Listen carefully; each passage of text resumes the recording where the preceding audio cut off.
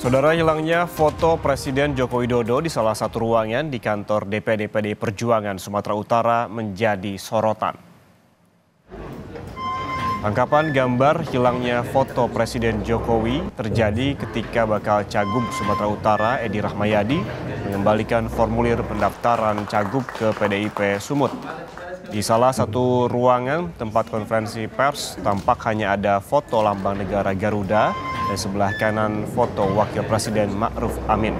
Sedangkan foto Presiden Jokowi yang harusnya ditempatkan di sebelah kiri tidak ada.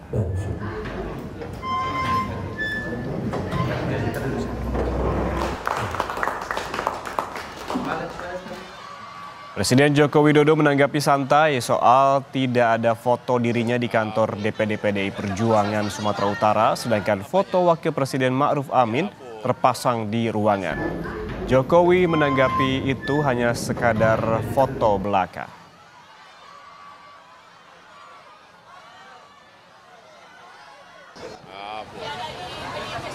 Apanya? Fotonya Bapak nggak ada di, apa nggak ada di apa kantornya Ya udah foto hanya bersih itu. Ah foto.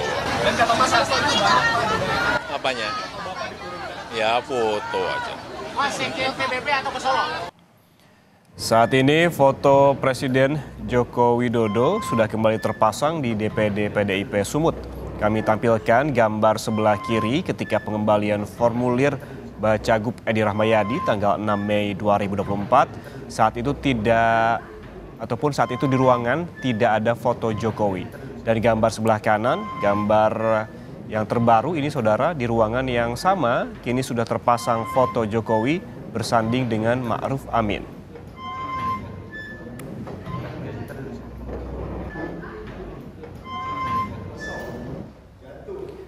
Pasca viralnya foto Presiden Joko Widodo tidak terpajang di ruang rapat kantor DPP PDI Perjuangan Sumatera Utara, Wakil Ketua Bidang Politik DPD PDI Perjuangan Aswan Jaya menjelaskan tidak ada unsur kesengajaan foto Jokowi sebelumnya jatuh tersenggol hingga kaca foto pecah.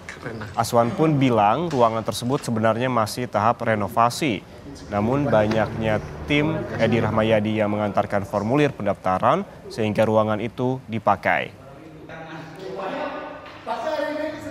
Karena hanya persoalannya saja, error saja. Jadi panitia rakor saat memasang backdrop, tersenggol, jatuh, kacanya pecah, jadi eh, tidak sempat diganti pada saat Pak Edi Ramayadi datang. Pak Edi Ramayadi sendiri tadinya diterima di lantai dua di ruang rapat, tapi karena ramai nggak cukup dinaikkan di lantai tiga ini. Nah ternyata di lantai tiga ini belum terpasang untuk Jokowi yang jatuh. Jadi ini hanya sekedar eh, ketidaksengajaan saja, bukan unsur politik. Sebelumnya, Sekjen PDI Perjuangan Hasto Kristianto mengatakan bahwa tidak ada arahan dari DPP PDI Perjuangan untuk mencopot foto Jokowi. Meski demikian, ia tidak membantah bahwa pencopotan foto Jokowi juga terjadi di sejumlah daerah.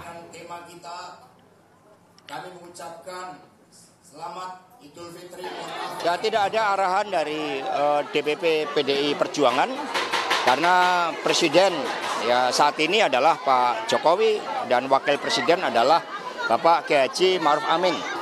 Itu yang dihormati ya oleh PDI Perjuangan. Ya kami mendapat informasi bahwa itu eh, terjadi di banyak wilayah yang dilakukan ya sebagai respon ya bahwa seorang presiden itu sumpah setianya adalah menjalankan konstitusi dan undang-undang dengan seluruh-seluruhnya.